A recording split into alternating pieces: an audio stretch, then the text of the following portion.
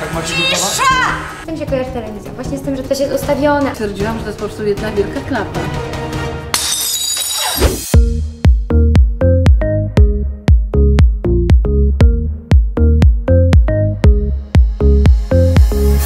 Cześć! W dzisiejszym odcinku znów będę uczyła się czegoś nowego, ale tym razem będzie to wyjątkowy odcinek. Taki odcinek, na który czekaliście, który pisaliście w komentarzach i wreszcie się udało. Dzisiaj odwiedza dom ekipy Magda Gessler. A jeżeli taki odcinek Wam się spodoba, to oczywiście zostawiajcie łapki w górę i subskrybujcie kanał, żeby być na bieżąco z każdym filmem i żeby nic Was nie ominęło. Dodatkowo pani Madzia ma dzisiaj imieniny, więc kupiłam taki właśnie bukiet kwiatów. Mam nadzieję, że się ucieszy. Że mówiąc, to będzie nasze pierwsze spotkanie i wiem, że pani Madzia jest wymagająca, więc dzisiaj po prostu czyszczenie wszystkich szafek w domu ekipy, wszystkich misek itd., itd. Mam nadzieję, że nie zauważy jakiegoś brudu, ale zobaczymy. Może rzucać talerzami w domu ekipy nie będzie, a jeżeli będzie, to tym bardziej będzie śmieszniej. Bardzo Dzień miło, dobry, też nie Weronika, przed bardzo jak miło.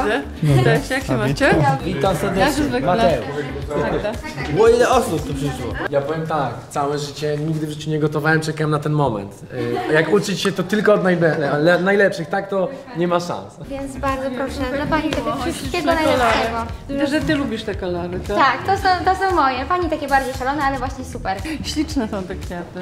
Ja myślę, że ja powinienem dzisiaj się przebrać za panią Madzie, ponieważ uważam się za y, degustatora burgerów w Polsce, jednego z najlepszych. Kto tak naprawdę zainspirował Panią do tworzenia tak pięknych dań, zafascynował do gotowania? Kończyłam Akademię Sztuk Pięknych w Madrycie, na San Fernando, na tej samej uczelni, którą kończył Picasso. I w ogóle moja droga życiowa miała iść w tamtym kierunku. E, I tylko zaczęłam robić performance. Robiłam ogromne portrety Gunili von Bismarck, e, syna króla Hiszpanii, 7 metrów na 4 z chleba i kawioru. I to były takie performance, gdzie El, hiszpański i Vogue strasznie się tym zainteresowali. I zaczęłam e, robić obrazy z jedzenia po Akademii Sztuk Pięknych, gdzie też bardzo dobrze mi szło i też bardzo dużo sprzedawałam obrazów. Tu chyba będzie bardzo dużo na ten temat. Już powiedziałam wszystko, co mogłam, przynajmniej do okresu, kiedy zaczynałam kuchenne rewolucje. Wręczam Ci pierwszy egzemplarz naszej książki, mojej i Dominika Linowskiego, który miał bardzo dużo do mnie cierpliwości, bo wiadomo, że ja nie mam czasu i podróżowaliśmy naprawdę prawie, że przez cały świat, żeby tą książkę napisać, żeby te miejsca, w których ja opowiadam różne historie, pobudzały do tego, żeby chcieć gadać, opowiadać, Polacy znają Panią jako taką przebojową, taką zawsze wiedzącą, co chce osiągnąć, taką zawsze perfekcyjną, ale mimo wszystko, która wyraża swoje zdanie i często też niezadowolenie wśród występujących w kuchennych rewolucjach yy, ludzi. Ale myślę, że rzadko Pani mówi o takich rzeczach, które się gdzieś tam Pani nie udały, czy właśnie o tych ciemnych chwilach, więc jeżeli tutaj są takie momenty, Są. to chętnie, chętnie się... Nie, nie, no żeby dojść do takiej e, równowagi psychicznej, do takiego poczucia jak gdyby dystansu do siebie i też sprawiedliwości i żeby zrozumieć ludzi, to samemu trzeba przeżyć bardzo dużo. Nie da się ukryć, że ten bagaż jest ogromny, to jest pierwsza część książki. Ta druga będzie naprawdę heavy metal, dlatego że to już będą takie sprawy związane i z biznesem, i z kuchnią, i z ludźmi i jak należy traktować, traktować tych ludzi, którzy akurat nie życzą Ci najlepiej, żeby się w ogóle nad tym nie zatrzymać, tylko iść dalej i mieć to swoje marzenie. To marzenie jest e, spełnionym marzeniem, bo nikt nie wierzył, że napiszemy książkę. To jest moją prawą ręką do gotowania. Wera. Czy hamburger to, są, to jest bułka, którą przecinamy na pół. To jest ważnego w tym hamburgerze, żeby on był fajny. E, Ja robię sos różowy, taki jak tam tysiące wysp, czyli robię ma- majonez z ketchupem, odrobieniem tabasco, do tego sikam troszeczkę e, korniszonów, e, no taki, żeby on był zakręcony. Kaparów pewnie nie lubicie, więc nie siekam. Co to są kapary? No właśnie, to, jest, to jakby jest y, jakby pierwsze pytanie, nie? Ja mogę robić tu jakiś czas wykłady, żebyście byli bardziej światowi. Okej? Ja teraz Wam pokażę, jak robię majonez. y, W ciągu 5 minut litr majonezu eko, znaczy bez tych wszystkich różnych dodatków. Się robi takie, że można kroić to jak masło. I to się kładzie na dwie strony bułki. W tym czasie gotujemy ten ocet. Tyle octu, ile cukru, ile wody, w którym trzeba będzie potem zamarynować ogórki do hamburgera. Czyli ogórki konserwowe. Lubimy? Lubimy. Kładziemy liście sałaty i na tych liściach sałaty przylepimy lekko majonezem plaster pomidora. Dla Ciebie nie. Ja E, Duży plaster pomidora, to będzie bardzo ładnie wyglądać. Sałata z pomidorem, hamburger, na hamburger ser i na to z powrotem sałata i tenże sos. Czyli w ogóle żadnych tych wiesz, szałów jakichś. Nie są. Jeżeli ktoś chce hamburger z awogado, to hamburger z awogado. O, jasne, O. awokado. Ja awokado. Ja też bym spróbował, lubię. I, to Awokado jest, jest- I taki, ham, taki awokado, które przedtem mm, trochę skropimy cytryną, żeby nie, było, nie zrobiło nam się czarne. I żeby teraz to wszystko zrobić szybko zjeść szybko, bo przecież o to nam chodzi, to bułki się grilluje wtedy, kiedy już mięso jest gotowe. I wtedy kładziemy na tą gorącą bułkę, która musi być trochę chłodniejsza niż gorąca. E, Ten mayo, na to kładziemy sałatę z pomidorem, na to hamburgera, na, to, na gorącego hamburgera, którego już mamy na drugiej stronie, już kładziemy ser, żeby się roztopił, żeby nie był twardy. Kładziemy to i potem znowu kładziemy to, co chcemy, czyli wiesz, no ogórki, sałata i z powrotem pomalowany tym różowym sosem y, bułka. To, co robi. Ja mogę robić majonez. Ktoś musi wyrabiać mięso, bo podstawą tego y, hamburgera jest genialne wołowe mięso. To mięso jest y, idealnie dobrane, bo ma odpowiedni stopień tłuszczu, żeby, żeby nie dodawać żadnego tłuszczu, żadnych rzeczy. To jest ważne. A jak rozpoznać, czy to mięso ma idealny stopień tłuszczu? Patrzysz na mięso i ma takie marmurkowe żyłki białe, to znaczy, że to mięso nie będzie twarde i suche. Na tym polegają hamburgery amerykańskie, no, że niestety są z niedobrego mięsa, które stoi i się nie rusza. Ja poproszę nie, ja poproszę coś, Jak ktoś czego w nie boksie, można, to- czego się nie da spier... Będziesz był sałatę. Na przykład, Chłopaki, to wy się zajmijcie Ja sprzątaniem. kiepski. Tutaj mamy e, e, naszego szefa kuchni, można by powiedzieć. Małego, ale, ale jednak szefa, no on jest dobry. Ja po prostu jak ktoś coś będzie e, źle robił, to będę się darła. Mogę wam pokazać jak? Be, tak. No, żeby się nie Czy, czy potrzebne tego są talerze do rozbijania? Jak mi kuchnia śpi i ci wszyscy, co tam biorą udział w tych kuchennych i wderzy operator, że już mają wszystkiego dosyć, tylko dźwiękowcom mówię tak, żeby wiedzieli, że, mają będzie- słuchawki. Robię coś takiego. Robię to, robię to jeszcze wyżej. Bo jestem trochę wykończona głosowo, bo cztery dni, dni się darłam, więc wiesz, trochę obniżony głos. Ale to jest taki znak, że coś nie idzie tak, tak? Wypier jakąś robotę. Ziele angielskie 5 ziaren, dwa ziarna goździków, 5 ziaren pieprzu, 5 liści laurowych. Czyli pamiętamy, kto pił Red Bulla? Piję teraz. To śmierć. Inną formę podniesienia libido. Potem ci powiem. Pomidory się kroi na końcu, ponieważ pomidor pokrojony wcześniej traci wszystkie swoje właściwości. Zaczyna być ohydny po trzech minutach. Nie wolno nigdy kroić pomidora przed zrobieniem sałaty. I też nie można dodać winigretu przed przyjściem gości.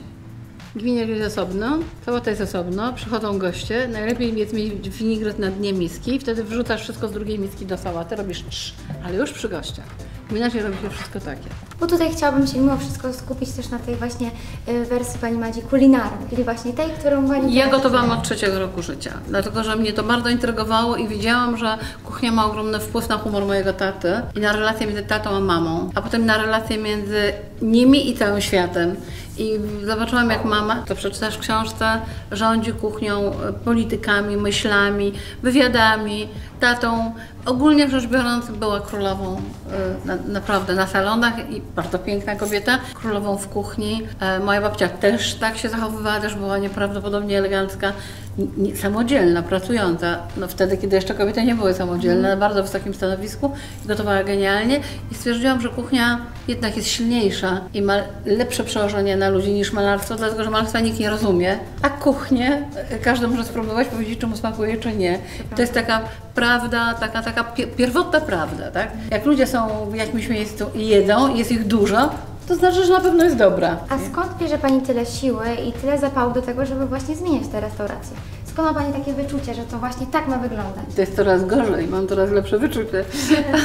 Chodzi o to po prostu, że jak przyjechałam do Polski, to mieszkałam w Madrycie prawie 20 lat i musiałam zacząć jakby moje życie od początku. Przyjechałam do Polski, zawsze Polska mi się kojarzyła z krajem, cudownie, bo kojarzyłam to z moimi, moim domem rodzinnym i tak dalej.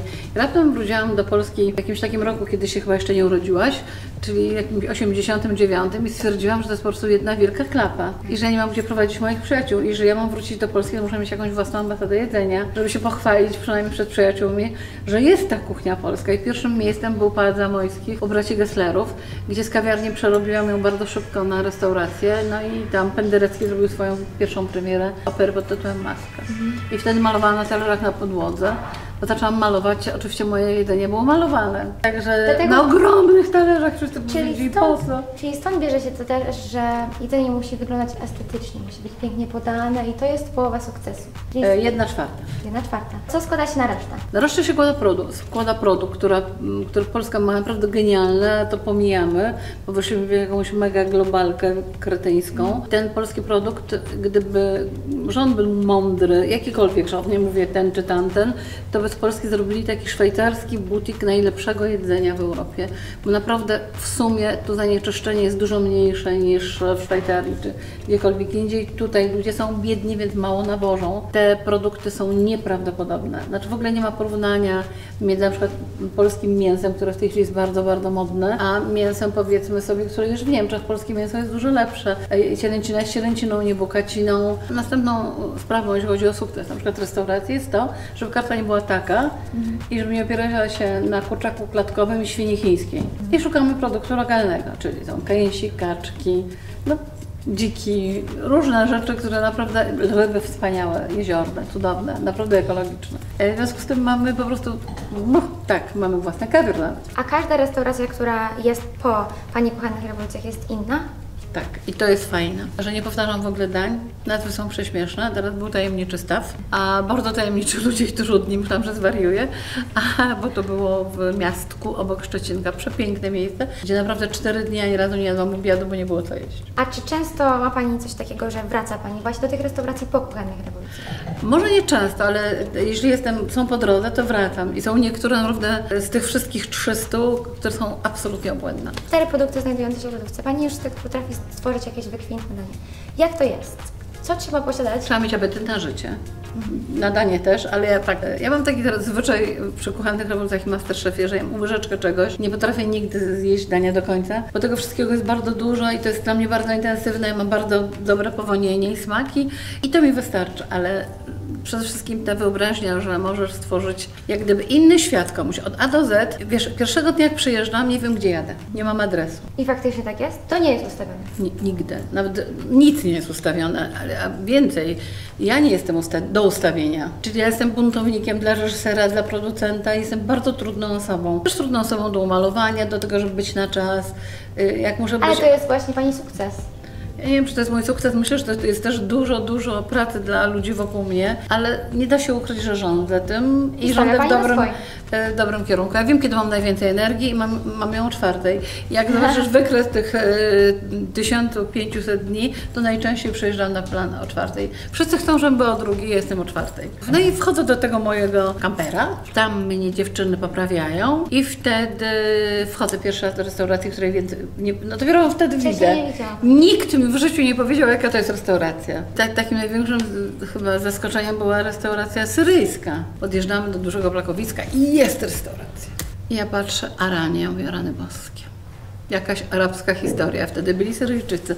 No i wchodzę do tej restauracji i przyjmuje mi taki niski człowiek i mówi, Pani Magdo, dlaczego Pani nam chce pomóc? My jesteśmy Syryjczykami. Ja mówię, ja pomagam wszystkim. Ogólnie ludziom, którzy chcą pomocy, niosę tę pomoc, więc Panu też pomogę.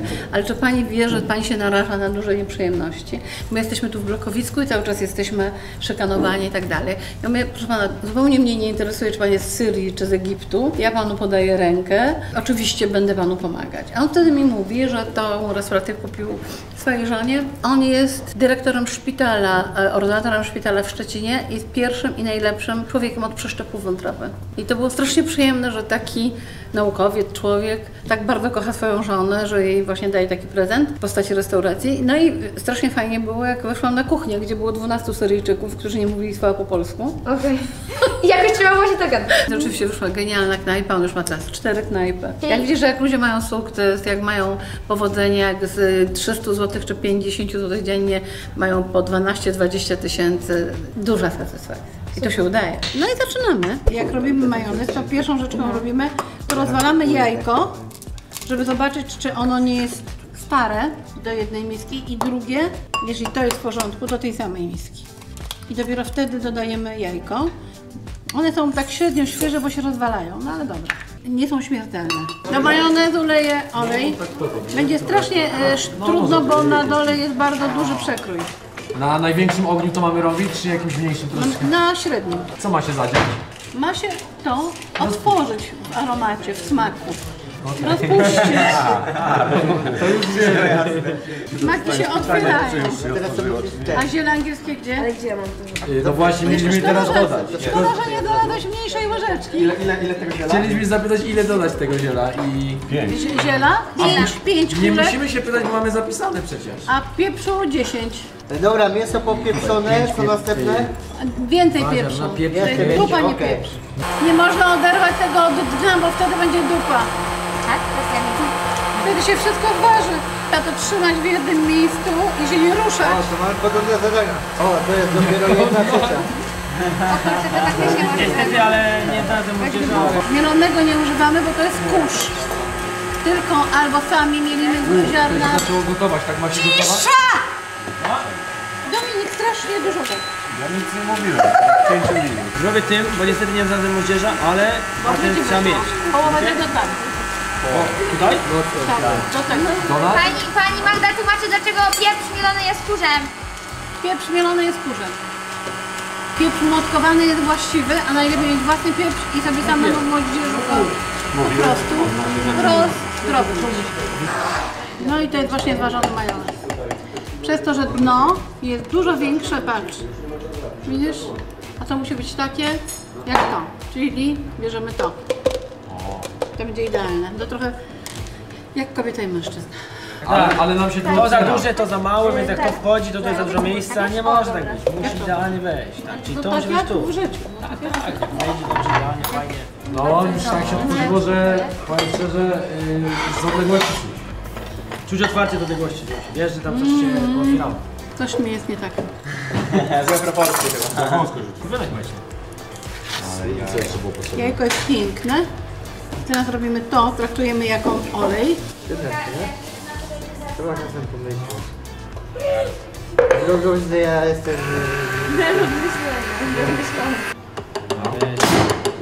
O kurde.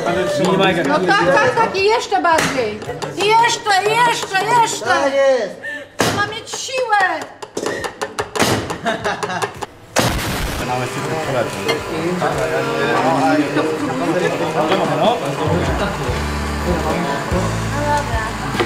Ja myślę, że to jest mega dobre. Zobaczyć. Pani Magda ogórki już jest. Ten etap, etap Działo, tutaj ma- działo górków. Działo górków można by powiedzieć za, zaliczony już, skończony. Is good, perfect? Very nice. Dobra, robimy dla porządek, wkładamy hamburgery. O, o. Dobra. Każdy bierze swoje składniki, które wyprodukował.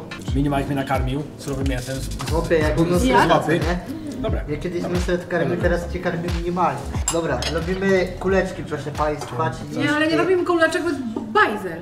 Musimy No właśnie. wszystko- No ja bym tą kolendrę dodała do mięsa, ale chyba nie wszyscy się zgadzają. Jest tak malutko, że nie będzie. Kto nie lubi kolendry, ręka do góry. Zaczynamy się na... O, ja jestem w ogóle uczulony na kolendrę. Czulony jesteś? Tak, kiedyś byłem, y, z- bo ja byłem w techniku chemicznym, badaliśmy zawartość y, witamin w kolendrze i przez cały dzień y, kroiliśmy kolendrę i później cały spuchłem. Serio? No to jesteś czulony. To kolendrę don. Teraz ja, ja poproszę oliwę. Kulasz zajebiście. Jak te, gumiklej takie śląskie. Takie Z tygrysem, bardzo ładnie. Tylko musisz to roz ręką A, doskonale. Ej, rzeczywiście, pomieszać ten sosik i jest elegancko. hamburger i jest płaszcz. Tak, tak, to ci zrobię, pokażę. Po, połóż go. Wiem, I nasze mielone też się wzięły z hamburga. To się robi po to, żeby ciepło chodziło głębiej. To znaczy, ta kratka nie jest jakby jakąś dekoracją, tylko po to, że na przykład jak ktoś chce r- na przykład nie medium rare, yy, tylko na przykład well done, to żeby było lepiej wypieczone. Bo ja na przykład lubię surowe w środku mięsa, tak? I teraz tak, cebuli jest mało, Przyjął mój towarzysz broni. bo musimy przy... O Jezu, kurczę, kto zje taki, taką grubą cebulę? Za dużo? No, no, błagam Cię. No to babcia Krystyna mnie teraz zabije. No dawaj cebulę, obieraj na nowo, kobito. Ja powiem tak, że ta lekcja jest dużo trudniejsza od kuchennych robotów. Ale efekt będzie piorunujący. Później pomidory kroimy tak samo. O nie, nie, nie. To nie. Pomidory ty? Nie, nie, nie. Ty nie jesz pomidorów. Masz teraz taką tą. Mniej więcej jest na, idealna na jeden hamburger. Żeby nie starczało. I na to pomidor, na to cebula. I przygotowujemy tyle, ile jest hamburgerów takich samych. Dobra. Cheddar jest prawdziwym serem hamburgerowym. To jeszcze kupił Grzesiek taki bogaty. Ja nie mam cierpliwości, może ty, chodź. Na jednego hamburgera taka grubość. To jest taka grubość. O, to mogą być grubsze. To ja bym mogła to kroić. Proszę. Jak to skończysz, to robisz. Czekaj, to ja to tutaj, dobra? Cebulę. Prawie, prawie mamy. Mamy jeszcze ser. Cheddar. Wszystkich 15. Wszystkich mięsa jest 15, 15 hamburgerów będzie. Ale źle mi robisz. Mi robisz mi tu płasko, a tu wysoko. Aha, Rozumiesz? to musi być bardziej Nie. płaskowy. To Chodzi o to, żeby on był równy, wiesz? A. Tak jakby był, e, jakby był talerzem. Okej, O, tak musi być. okej, dobra. Taki bardziej Pokaż, co ty robisz tymi chipsami. Idź. Idź, nie mogę patrzeć. Nie, tak nie można. Kto się, kto, kto, kto? Co? Chodź tu. Ja robię? Tak. Ja? No i rób kolejne, dokładnie tak i później kratkę. Kratka, żeby wchodziło szybko. Pamiętamy, Weronika, jak robimy na początku? Bułka, ma, najpierw e, hamburgery na ruszt. Potem bu, bułka mayo, na to pomidor. Przygotowujemy e, e, teraz liście sałaty z pomidorem i cebulą. Bo grill już Żeby rozgrzany do i potem na to Okej, dobra, dobra, hamburger. dobra, tak? dobra. Pamiętasz Ale, kolejność? ale z awokado, awokado będzie szło przy sosie. E, e, przy sosie. Mhm. mhm. Jeśli chodzi o ogórki, idą bezpośrednio, idzie cebula na hamburger i na to ogórki i sos na bułce i zamykamy. I takich robimy 15. Słuchajcie, jaki jest Pani największy sukces, który Pani osiągnęła w swoim życiu? Moje dzieci. Bardzo szybko się usamodzielniły przez moją intensywną pracę. Powiem szczerze, że w tej chwili bez mojej pomocy, bez moich pieniędzy i Lara i Tadeusz, no, Też by sobie poradzili. No, Lara, Lara jest dobrą influencjerką, bardzo, bardzo fajną. A Tadeusz robi teraz restaurację Lewandowskiego. Pani jest niesamowicie pewna siebie i to też jest pół sukcesu. I czy właśnie tym już 4 czwartym, bo już mamy 3 czwarte, będzie właśnie ta pewność siebie i to, żeby być przekonanym, że ta, po prostu ta kuchnia jest dobra. I jak ludziom się nie podoba, to po prostu trudno, czy właśnie trzeba czasami no, pod, tak pod Weronika, stwierdzić. Fukier ma 30 lat. Mieć na rynku Starego Miasta restaurację, która ma 30 lat i wiecznie pełną i ogródek, to jest takie poczucie, że wiesz, że dobrze karmisz. I to na rynek Starego Miasta nie można podjechać furą. Można zaparkować, trzeba dojść trzeba- i jest pełno. To znaczy już wiesz, co robisz, tak? I się nauczyłeś bardzo dużo. A potem jak ja mam wolne, to ja jeżdżę po całym świecie do najlepszych hoteli, najlepszych restauracji. Nie znaczy, że drogich, najlepszych. To znaczy najlepszych, że są po prostu najsmaczniejsze. A gdzie jadła Pani najlepsze jedzenie, oprócz swoich restauracji? A gdzie najgorsze? kraj Basków. A jaki produkt w kuchni, który Pani już poznała, mógłby dla Pani w ogóle nie istnieć, który Pani wyrzuciła? Ten taki ryż, który jest taki, taki ustabilizowany, że zawsze jest, y, gotujesz, gotujesz, A zawsze jest paraboil, twardy. to, tak, jest, to ten by Pani wyrzuciła. tak, nie paraboliczny, tylko on jest taki hartowany, o. To ten bym wyrzuciła z kuchni. Wyrzuciłabym wszystkie kurczaki tak hodowane, jak są hodowane. No i wyrzuciłabym, marchewki na azocie, które są hodowane, że jesz pierwszą młodą marchewkę i czujesz przede wszystkim azot, tak? Jak to rozpoznać? Że Smaku. Tak? Tak, czuć. Wszystko potrafię rozpoznać. Dlatego jest taki, wiesz, show. Potem jak już przychodzę do restauracji, zjem dwa, trzy dania i oni tam już ze mną nie gadają, ja wychodzę i przychodzi do mnie pani dekoratorka i mówi, no, jak się będzie nazywać ta knajpa, jakie kolory, jakie robimy wnętrze, jakie ściany, cały, wiesz, wachlarz tutaj, wiesz, kolorów, no i, i, i jaki kolor, i kto będzie tu rządził, i kto będzie szefem kuchni. Ja mam wszystkie pytania jeszcze przed zaczęciem programu po godzinnym pobycie w restauracji. I też, wiesz, no pierwszego dnia ustalamy wszystko. Powiem szczerze, że się zdziwiłam, bo po pierwsze myślałam, że kuchenne Ja Cię zapraszam na plan. Ja naprawdę myślałam, że kuchenne rewolucje są strenne. Ja bym bardzo chętnie odwiedziła i to jeżeli widzowie również będą ciekawi, ja bym chętnie zobaczyła, jak to wygląda. Bo to jest telewizja. Z czymś z tym się kojarzy telewizja? Właśnie z tym, że też jest ustawione, ale bardzo dużo osób właśnie mówi o tym, że Pani program, jeżeli kuchenne rewolucje, to jest sukces większy, największy w sumie. Ale tylko to jest sukces prawdy. Tu i teraz i tego, że ja się sobą nie, nie pozwalam manipulować. Że komuś się wydaje, na przykład nawet jak podchodzi do mnie kamera i ja jestem tyłem, a wiem, że muszę być tyłem, żeby coś tam zrobić na kuchni, żeby się udało przestawić garnek, czy mieć taką czy inną temperaturę. I operator do mnie, Pani Magdo, dupą do mnie Pani stoi. Ja mówię, daj mi święty spokój, ja gotuję. I Dawid też tak powiem. jakby dobrem tych, tych, tych programów jest to, że ja walczę rzeczywiście o smaki i nie patrzę, czy ja będę dobrze wyglądać, bo wyglądam czasami koszmarnie. Brak klimatyzacji, 70 stopni, ci ludzie w tym wszystkim, no jest ciężko czasami. Najważniejsze jest tyle, że przyjdą goście i będą się zachwycać. Ja uważam, że mężczyźni jako szefowie kuchni, takiej wyrafinowanej, takiej trochę zblazowanej, takiej wiesz, eleganckiej, takiej wiesz, takiej, no żeby się sławnym zrobić i tak dalej, no to oczywiście są oczywiście fantastyczni, bo to jest bardzo ciężka droga, bardzo ciężka praca, są bardzo konsekwentni. Kobiety są trochę takie jak sinusoida, mają humory, czasami miłość jest ważniejsza od kuchni, a dla mężczyzny kuchnia jest miłością. A zahaczając już ostatnie pytanie odnośnie social mediów. Już ostatnio się częściej Pani pokazuje mimo wszystko w sieci. To mam takie prywatne pytanie, czy ogląda Pani YouTube'a, tak? Że sobie Pani siada i odpala zamiast Zrobiłam przecież Wigilię z Dominikiem na YouTubie całą. Widziałaś? 12 dań wigilijnych zrobionych w 3 dni i praktycznie już nic nie musisz mieć, tylko te, te, te, to nagranie z tych trzech dni, gdzie jest niesamowita ilość wejść i jest od A do Z każde danie wigilijne zrobione na YouTubie naszym. Ale, ale czy innych Pani też ogląda? Tak, ale bardzo Rzadko. sporadycznie. Tak. Chyba nie ma Pani czasu. Ja jestem raczej bardzo instagramowa, natomiast y, na YouTube właśnie przyszedł czas. Może, może, może niedługo będą kuchenne rewolucje właśnie na YouTubie. Może tak się, może tak się wydarzy. Chociaż przy Pani wynikach y, właśnie telewizyjnych to raczej nie będzie. Nigdy nie wiadomo.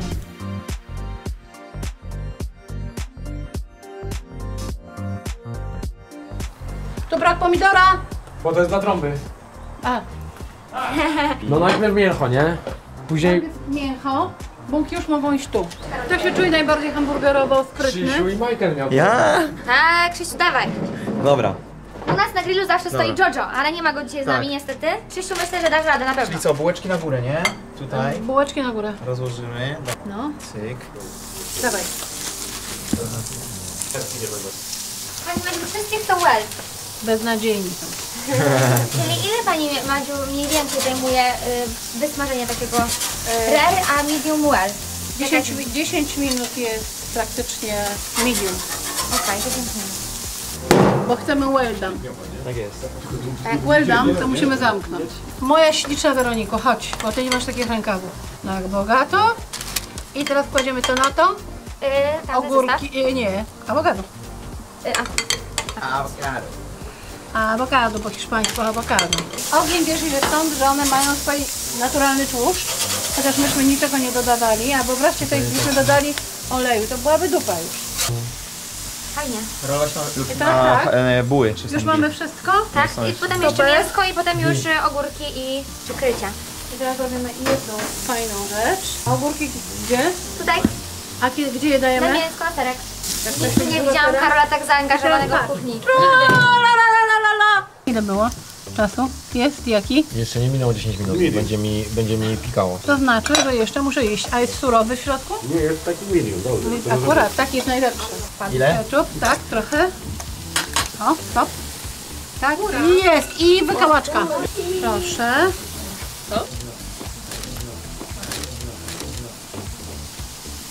A, się zsunął. Dawaj. Trzeba odsunąć. Żeby nam się nie odsuwał. Dawaj. Jakiś taki, o, to będzie dla mnie, nie? Well. Jest well? Jest well, oczywiście. No i pięknie. Mój już nie wygląda apetycznie, bo z Martą miałyśmy go zjeść na pół i go rozkroiliśmy, po czym Marta się uświadomiła, że jest mięso, że mięso nie jest wypieczone. A ja już za chwilkę będę bogatszy o nowe kulinarne doświadczenia. Ja uważam, że jest to burger y, wysokiej klasy. Wysokiej. E, fajnie, że też załapało mi się tutaj awokado. Burger premium. Ale pychota. Ale dobre mięso. Jest niesamowity. Ja już po prostu jem warstwami. Jak nigdy nie zjadam burgerów do końca, tak tego zjem. Ja jestem największą fanką sosu. Jest cudowny. Tyle powiem. Ogóreczki też są prima sort, bo ja je robiłem. No. Dojma. No, mega dobry. Jeden z lepszych. Ale wydaje mi się, że em, jadłem w jakiejś restauracji lepszy, ale to jest domowy. Na pewno najlepszy taki domowy jak jadłem, nie? Smaczne? Tak, jest wyśmienite. Ja nigdy nie zjadam burgera do końca, a dzisiaj zjadam do końca. Sosik to byłby dobry za wszystkim. Tak mi się wydaje. Ale on, y, Kurde, na, najlepszy, najlepszy No domowy na pewno jaki jadłem. Oprócz tego mega w ogóle, serio, jest dojeba. Jest super zdrowy, ale gruba była... Ja jem drugi. Ja jeszcze. Jak zostanie, jak zostanie, to jem. Ale gruba była i tak bym... Uwaga. I o, o, o, o punkty wyżej dał. Mega dobra. Ej, ale ten sos jest dorobany. Ale to awokado też jest dobre. Sosik z przemocy tu. Ej, serio, mega dobra. Krzysiu, jadłeś? Ja jestem, mówię, to jest najlepszy burger, jaki ja jadłem. Przyszedłem do pani Madzi i powiedziałem Pani ma, czy pani Madzia się obrazi, jak ja zjem sobie po prostu jeszcze mięso z tym serem? A ona powiedziała, ja wiedziałam, że zjesz mięso z serem. Daję się pierdol. Ta kamera nie chce tu leży. Ja idę po burgera. No, chyba. To są naprawdę jeden z najlepszych burgerów, jak nie najlepsze, jakie jadłam. Serio, najlepsze. A to kogo? A Dominika, tak? Powiem Ci tak, bo to mięso tak naprawdę kosztowało 260 zł. Za kilo, no to jest strasznie dużo. To jest najlepsze mięso na świecie. A ile by tutaj mieliśmy? Dodatki, że one są świeże. Busher w Warszawie, który ma mięso z Chile, to jest mięso z Chile. I ma naturalne mięso, wiesz, które po prostu chodzi rzeczywiście jest przetłuszczone, no tak. Chodzi, ale nie biega. Tak.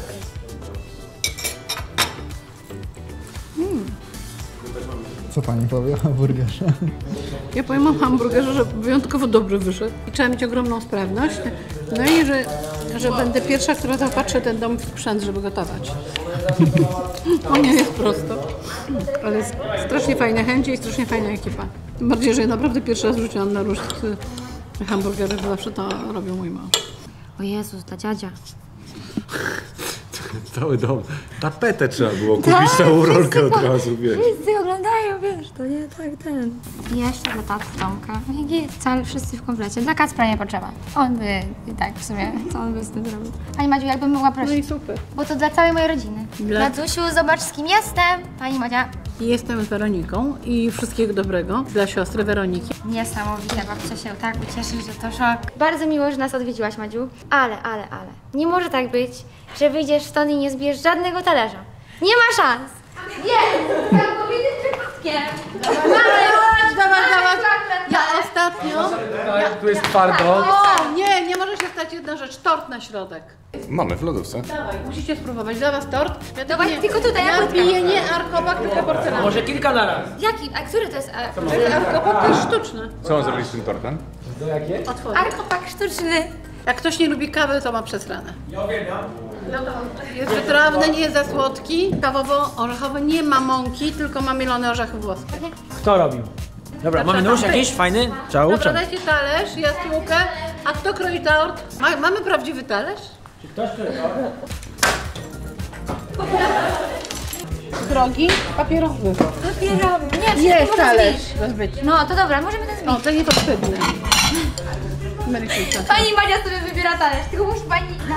Świąteczny? Świąteczny. Świąt nie ma i nie będzie.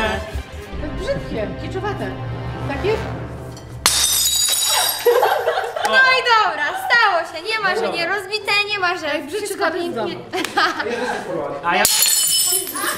A widziałem kilka odcinków, w których Dobra, były rozbite ja mogę talerze. prosić Widziałem. nóż? Fajnie się rozbija takie talerze, serio, mega przyjemne. Ej, Jest w ogóle takie miejsce, właśnie na początku ja myślałam, jak, że przyjedzie pani Madzia, że będzie mieć więcej czasu, że pójdziemy do tego miejsca, gdzie się rzuca talerzami, bo jest takie miejsce w Krakowie. Tak. Pobudza. Zamiast Red Bulla macie kawę, nie Czy to tyle. jest galaretka z moku kawowym? Tak. Kurde. Jak zawsze w, e, w cieście takim fajnym, tortowym, musi być alkoholu. Wódeczka jest. Czuję to, czuję alkohol, wódeczka. czuję wódeczkę, oczywiście, że tak. Bez wódeczki to Bez w ogóle by nie było tego smaku. Ale popatrz, nie było. Dawniej było zawsze tak, że była wódeczka. O, ja chętnie. To się No nie Karol, tylko uważaj, bo zawartość wódki tutaj w tym torcie jest wysoka. Nie aż taka, żeby ci odebrali prawo jazdy. Jest kuchnia, w której się pani w ogóle nie odnajduje na takiej zasadzie, że po prostu nie lubi robić i według niej jest na przykład jakaś bez sensu, typu nie wiem, włoska na przykład, albo jakaś Moja inna. babcia jest włoszką, zwariowałeś? Nie, nie, Nie znoszę muszczku. muszków? A, Lubisz murzek? Nie próbowaliśmy chyba nie jeszcze. czy jadłem. Jadłem, jadłem niektóre dziwne rzeczy, kurze żołądki jadłem na przykład w tajskiej To nie, jest, to nie jest zi- dziwne. Naprawdę bardzo dziwne są te ogórki morskie. Wiesz, które? To zapadnie, podnie chodzą takie, no. Nie, to one też chyba takie. No, no, no, no. Jadłam to w Chinach i myślałam, że się... Proszę skończyć kręcić gdzieś to. No wa, e, e, to nie będziesz Moje... Już masz trzy kawałki odłożone, ile masz?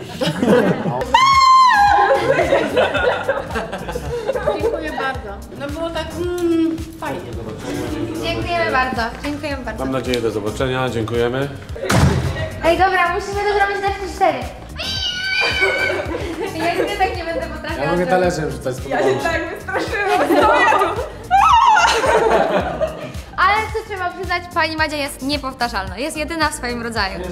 Naprawdę, jest... Najbardziej... Jest kilka osób takich Teksty miała takie kur... nieraz mocne, że was tu nie było, ale serio. Ale, ale jest zajebista, jest Mnie taka najbardziej, właśnie jak... mnie najbardziej rozpier... to, że ona w ogóle nic sobie nie robi z przeklinania, że ona to tak, wiesz, to nie jest też tak, że, że cały czas przeklina, ale po prostu jak trzeba, to ona po prostu mówi weź do wypierd...